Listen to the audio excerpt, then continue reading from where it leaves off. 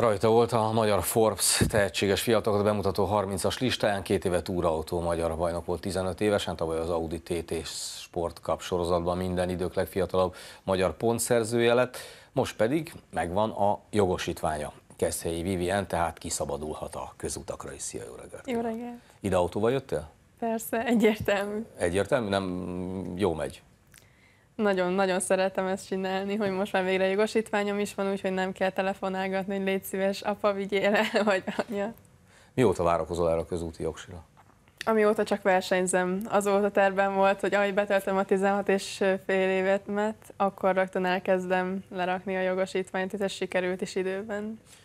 Milyen tételt húztál, vagy kaptál a gyakorlati vizsgán? Ugye most már változtak a szabályok, úgyhogy mindent el kellett végeni, tollatástól kezdve forgalomba vezetni 50 percet a vizsgán. Úgyhogy ö, sikeresen sikerült is nekem, és persze hál' Istennek át is mentem, úgyhogy nem is kellett azzal foglalkozni, hogy még egy időpontot foglalni. Úgyhogy nagyon boldog voltam. Az versenypályán vannak olyan dolgok, amiket az autóvezetésből óvatatlanul nem nagyon gyakorolsz. A közúton ezekre is szükség van. Például szeretsz parkolni? Imádok. Igen? Nagyon jól megy, illetve teljesen más közúton vezetni, mert mind, nagyon sok emberre is kell figyelni, ugye, hogy reagálnak, kell nézni az autókat. Én például, amikor vezetek, én minden embernek próbálom nézni a reakcióját, hogy mi fog történni, és nagyon próbálok előre látni, hogy semmi se történjen. Ez a versenypályán is némiképpen így van, nem? Ugye ott mindenki kihozza a maximumot az autóból, úgyhogy számítasz rá, hogy csak védekezni fog az előtted lévő. De nagyon teljesen máshogy működik, illetve máshogy is vezetünk. Milyen autóval vizsgáztál? Um, egy hyundai -jal. Igen? Sajnos nem Volkswagen csoportautójával, de egy hyundai De hát ez nem rajtad múlott, amit kaptál, ugye? Pontosan. Oda kellett. Próbáltam, hogy csoporthoz kötő legyen, de nem volt.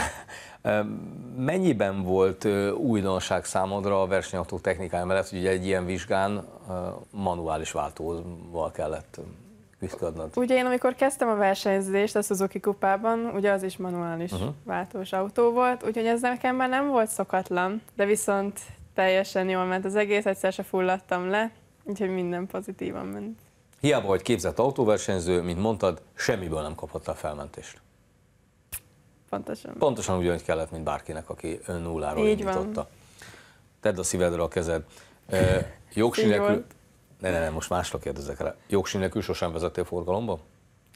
Csak amikor elkezdtem a vizsga előtt a napokban, de ugye ez legális. De amúgy egyszer sem kockáztattam meg, uh-huh. hogy vezessek.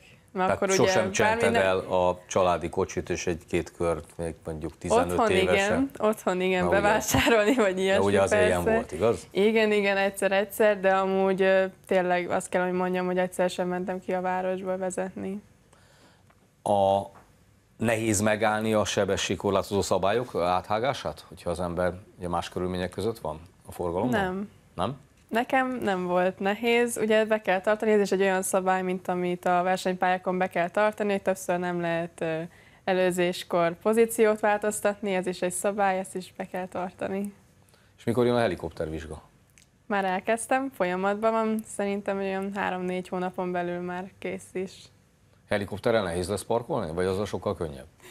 Nyilván teljesen más. Ugye itt jobban, tehát amikor felszállunk, előre kell megbeszélni, illetve tájékozódni a levegőben, ami egy kicsit nyilván bonyolultabb, mert vannak kapuk is a levegőbe. Ez úgy néz ki, hogy ugye vannak különböző cégek, akik lefoglalják a légteret. Igen. És ugye azt is tudni kell előre. Úgyhogy ez jóval összetettebb, de szerintem sokszor fog segíteni a parkolásban, mivel amikor le kell szállni, és nem lesz csak autó, illetve helikopter. Ez a helikoptervizsgázás, ez miért vonzott? Most ezt gyűjtögetett? Tehát most a következő a tenger alatt járó lesz?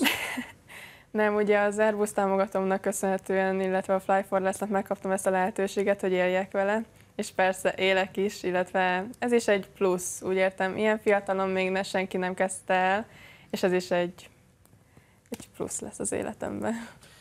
Ugye közben változatlanul, hogy az Audi, Audi Akadémiájának magyarja vagy, hogy érzed magad, milyen a közeg, meddig kell még ott dolgozni, meddig lehet még ott tovább fejlődni? Ugye nekünk nagyon hosszú távú terv van az Audinál, illetve nekem ez nem is egy közeg, hanem egy inkább egy család már. Ugye mindenkit ismerek, mindenkivel úgy beszélgetünk, mintha ezer éve ismernék egymást. Ez annyira jó, amikor odamész, és tényleg családnak is szólítanak, hogy üdvözlünk megint a családba.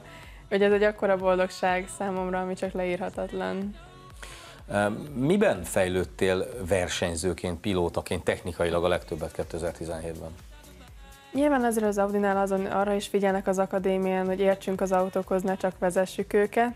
Ugye ez úgy néz ki, hogy minden vezetés után fel kellett mennünk a kamionba vagy az irodába, és akkor belementünk a részletekbe, hogy mi történik az autóval, ha ezt csináljuk.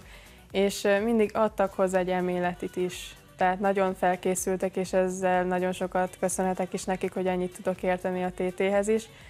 Ugye a tavalyi év az másképpen nézett ki, mivel ott mérnökök vannak körülöttünk, és nekem sajnos nem volt, de én meg nem de volt az engedélyem arra, hogy hozzányúlok az autóhoz, mint ahogy más pilóta se tehette meg, hogy egyformák legyenek az autók. Hoppá, ez azt jelenti, hogy ha közúton kapsz egy jó kocsit, vagy vezetsz egy jó autót, és valami problémája van, akkor azért nem vagy teljesen amatőr hozzá, hogy Azt hinném, hogy nem okozna gondot. Nem okozna gondot. Uh-huh. A, milyen kérdőjelnek van, vannak még a 2018-as szezonoddal kapcsolatban? Nem sokára lesz egy bejelentésünk az idei évről és az idei terveinkről. Szerintem most így a hónap végén vagy következő hónap elején be is fogjuk jelenteni. De nyilván az Audival folytatjuk. Uh-huh. Meddig tart az az érési időszak majd nálad szerinted, a, amikor az a legfontosabb szempont, hogy olyan sorozatokban indulj, ahol a, az autók egyformák, tehát hogy a legkisebb technikai különbség van közöttük, és kifejezetten is csak a, a, a pilóta tudás dominál a versenyeken? Nyilván nekem ugye az a célom, hogy eljussak a GT szériába, ugye ott különböző márkák is vannak, de viszont ugyanúgy maximum másfél másodpercen belül vannak, mivel a szabályok miatt és a súlyozásoknak köszönhetően. Úgyhogy mindenféleképpen olyan sorozatba szeretném folytatni, ahol nagyon közel vannak az autók, illetve a pilóták egymáshoz. És ez még mennyi ideig kell, hogy így legyen szerinted? Ez a bejelentésnél lesz egyértelműen is, de szerintem már hamarosan. Hol látod magadat versenyzőként öt év múlva? Szeretnék dolgozni is ezzel a témával, úgy értem a saját csapatot kialakítani, ami már van is, illetve de amikor betöltöm majd idén a 18. életémet, én szeretném átvenni és ezt kezekbe venni. És, Tehát um, csapatfőnök leszel majd. Így van, illetve az Audival is lesz egy projektünk közösen. Uh-huh. Hát akkor ez 100% autózást jelent a következő években. Itt ö, egyéb tanulásra, lovaglásra, zongorázásra nem lesz annyi idő, nem? Igen.